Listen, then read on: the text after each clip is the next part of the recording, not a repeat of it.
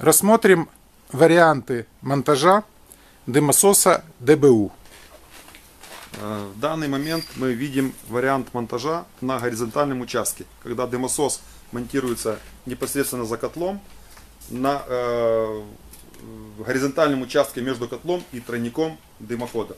То есть всасывающий патрубок мы одели непосредственно на э, дымоходный патрубок котла. И сюда мы можем, э, на этот патрубок одеваем либо же тройник, либо же еще удлиняем каким-то метром трубы расстояние до тройника.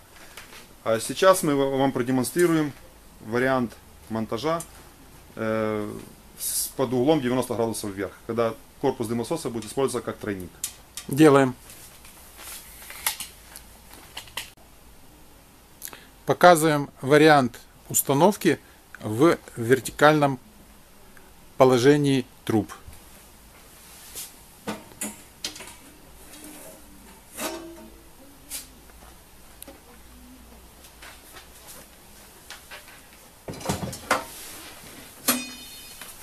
Для этого нам надо демонтировать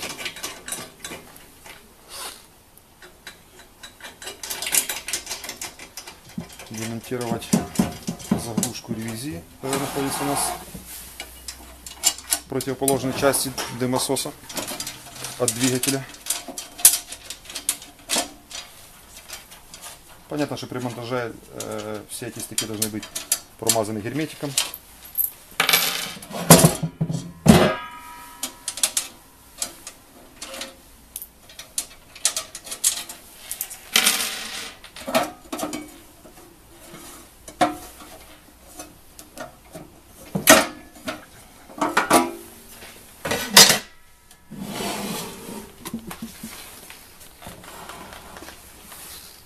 Снимаем всасывающий патрубок.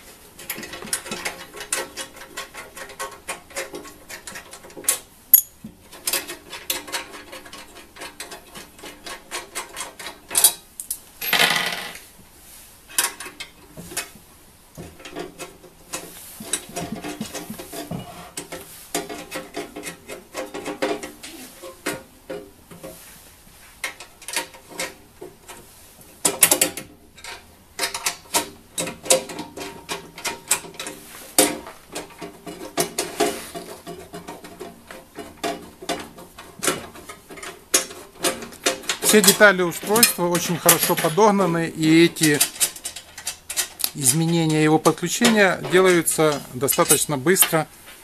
Вы видите это своими глазами. Есть определенное положение.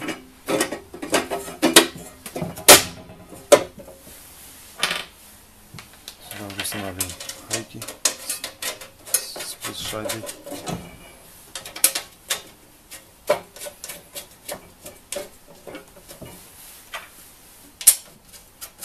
Понятно, понятно, что надо уплотнить это все герметиком при монтаже. Это делается на, котле один раз. чтобы не было лишнего подсоса воздуха. А ревизия ревизия устанавливается на место, где она стоял флянец. То есть мы фактически меняем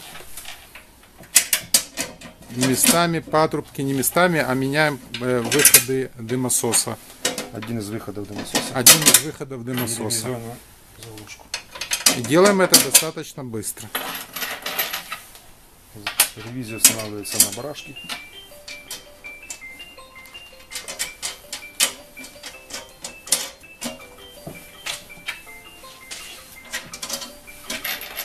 Мы установили заглушку на место, где наставил патрубок. И сейчас это все примеряем на котел. Теперь насасывающий патрубок рас- расположен напротив двигателя.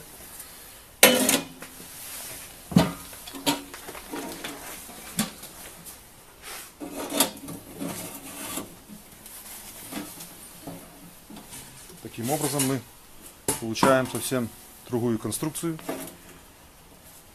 Здесь мы можем монтировать непосредственно уже вертикальный участок дымохода, а ревизия, которая у нас находится снизу, может использоваться для прочистки самого дымохода. Так выглядит уже собранная схема дымососа ДБУ вместе с трубой за пределы дома.